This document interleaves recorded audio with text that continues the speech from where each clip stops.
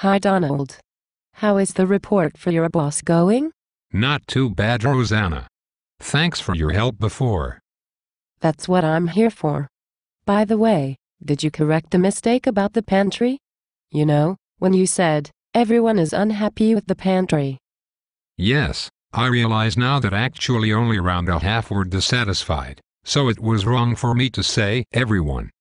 Still, it is a problem if just half the staff are satisfied. That's right. So what stage in the report are you at now? I've finished the findings, and I've written a short conclusion, summarizing those problems and linking to the recommendations. So that's where I am now, about to write the recommendations.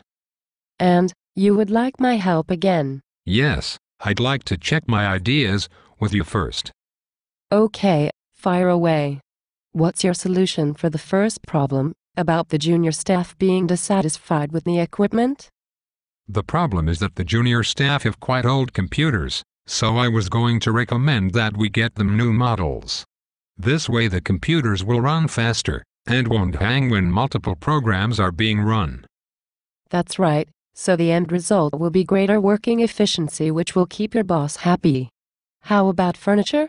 Any solutions? For furniture, I propose that we get some ergonomic chairs for the staff.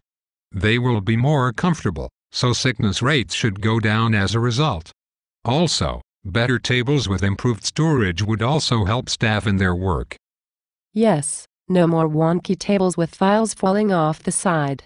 Again, all this is good for improved working performance. So, the pantry, what's your idea for that?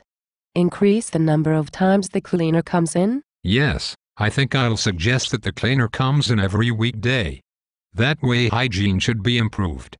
Also, we could get a coffee machine and microwave for staff to use.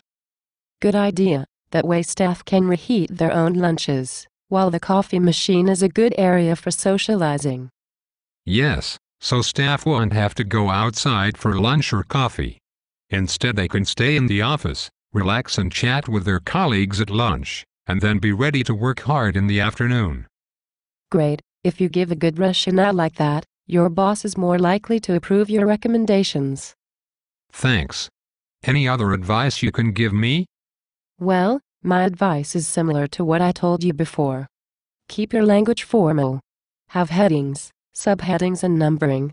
This way you are able to link each of the points in your findings to a specific recommendation. Okay, I'll do that. Also, I should use a wide range of vocabulary, right? Yes, try not to overuse words like satisfied and recommend. There are other words such as contented or suggest. Yes, I remember before you taught me disgruntled. Okay, I need to get back to work now. Thanks again, Rosanna. Bye. Goodbye, Donald. Keep up the good work.